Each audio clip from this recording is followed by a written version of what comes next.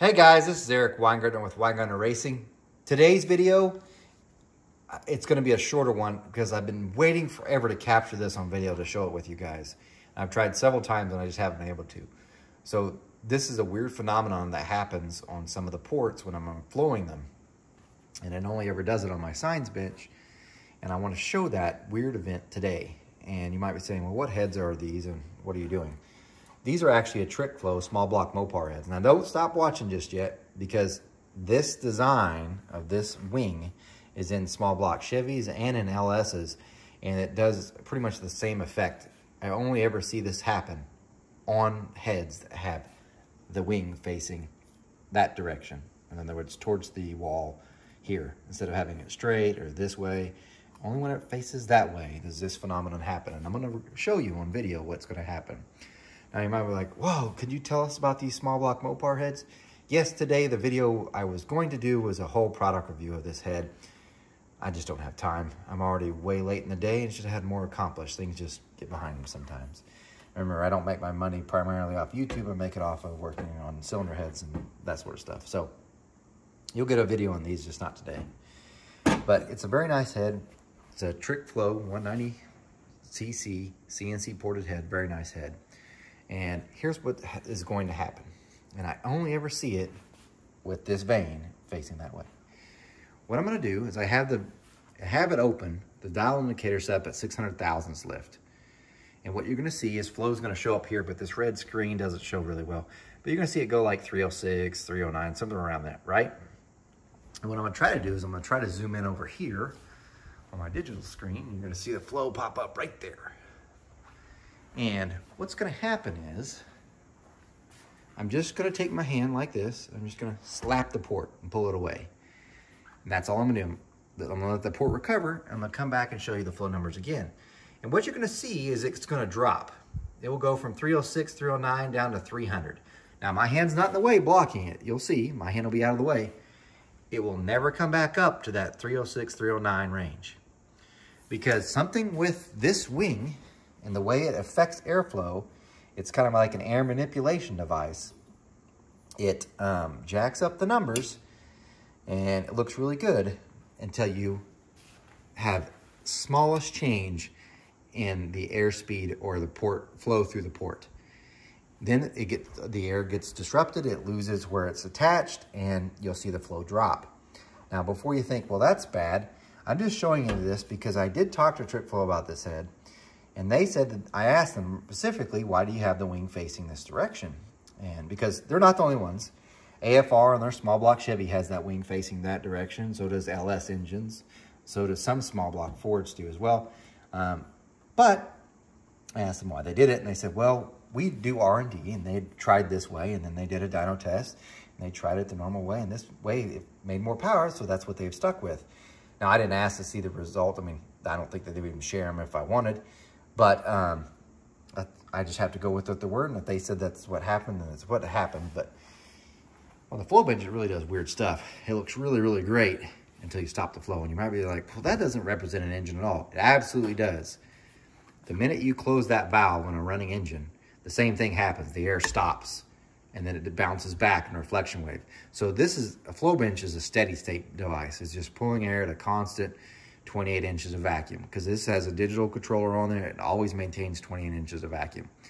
Um, so I don't have to turn the dials in other words to get to 28. It's going to maintain 28. So the minute I stop the airflow, it's just like the valve closing. So this process that you're about to see is the same thing that happens on a running engine. Now, here's what's weird. Another weird fact. It will not do it on my Superflow 750. And you're like, what are you talking about? Shouldn't they do the same? No. The Saenz bench has way more flow motors and or vacuum motors in it than the Superflow. The other thing is it's way, way faster at responding. And what I mean by this is when I open a valve, it instantly is holding 28 inches. If I do that on Superflow, it takes a while to spool up. And since it's taking too long to spool up, you don't get to capture the same event because it's gradually increasing the airflow. It never does a dramatic change like the Saenz does. And that's why I like this bench better because it's so much more responsive. It will show little problems with the head, but that bench we'll just ignore because it's takes it's gradually building up speed instead of violently doing it like it would be closer to what's in a real engine. So, enough being said, let's watch it. So I'm going to kick it on. You hear it get a little loud. Um, you'll see here, I'll show you the flow numbers. I'll try to show over there, and then I'm just going to boop, and go back to the flow numbers. So let me kick it on.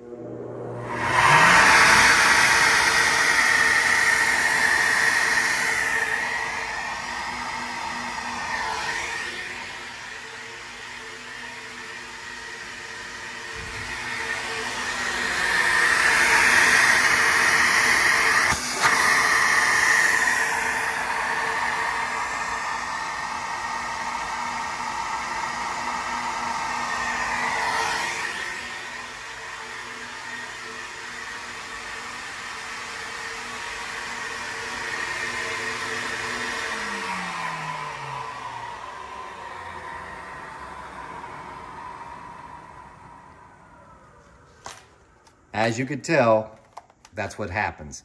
It won't recover. So you might be asking yourself, well, why does that happen? Like I said before, it's something with this wing. Once it gets slightly out of control, it can't maintain the air speeds.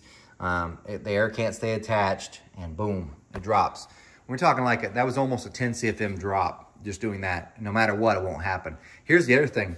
You could see it also when you're flowing ahead. Sometimes when you're flowing ahead, it will hit 600 like at 600, you hit 309 or whatever. You go to 700, it might, it'll drop down like, say, 300.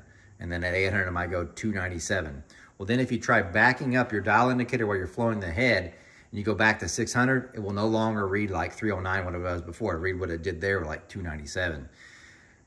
For whatever reason, like I said, I think it's the air not being able to stay attached. It does in a steady state, but the minute you disrupt it, it will not. Um, it seems really, really prevalent with the wings facing this direction. So it doesn't mean that they're wrong. I'm just showing you something weird that happens with those. And you would never spot it um, if you just hadn't, if you just always test on a Superflow with that, with its motor controller, you would never see it. It had to happen from that. So anyway, that's something weird I wanted to show with you. Uh, just something for fun. It doesn't mean this head's bad. Don't take it that way. Because like I said, they're not the only ones that done it. This is the only one I've been able to capture on camera.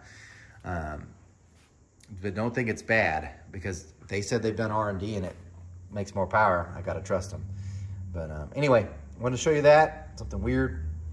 And uh, guys, remember, I do not port cast iron heads. I am no Superman. You guys take care.